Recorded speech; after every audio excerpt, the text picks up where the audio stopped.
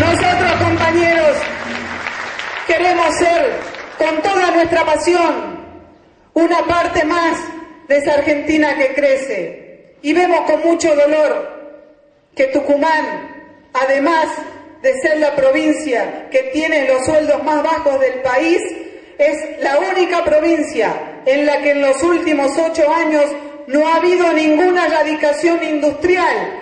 Y mucho peor, industriales tucumanos se han ido a invertir a Santiago del Estero porque acá no se generaban las condiciones. Ese es el Tucumán que tenemos que cambiar. Eso es lo que falta hacer y lo vamos a hacer.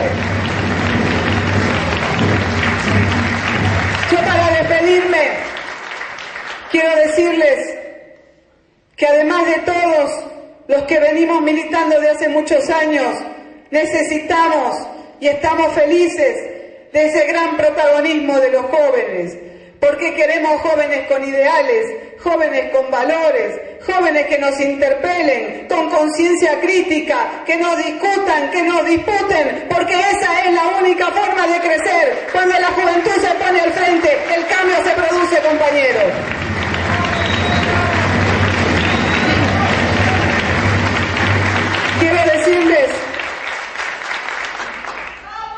Quiero decirle a Martín que le agradecemos enormemente su visita, que es un gran apoyo para todos nosotros.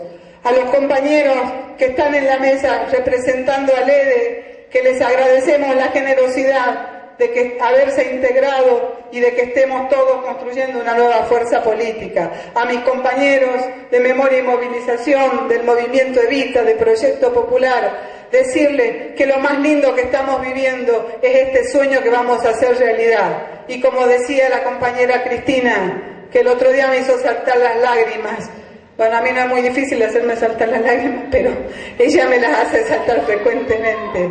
Cristina decía, que los políticos que a ella le gustan no son los que van a una elección cuando están seguros de que van a ganar, que los que les gustan son aquellos que persiguen un sueño, ponen su convicción ahí y la siguen hasta la muerte. Y esa es la convicción que nosotros tenemos para construir, compañeros.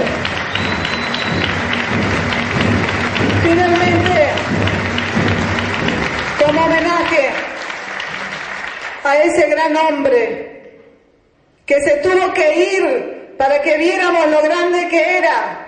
Le quiero decir como homenaje esta pequeña frase que ya es conocida por todos ustedes. No olviden que solo muero si ustedes van aflojando. Porque el que murió peleando vive en cada compañero. Hasta la victoria siempre. Y vamos con Cristina.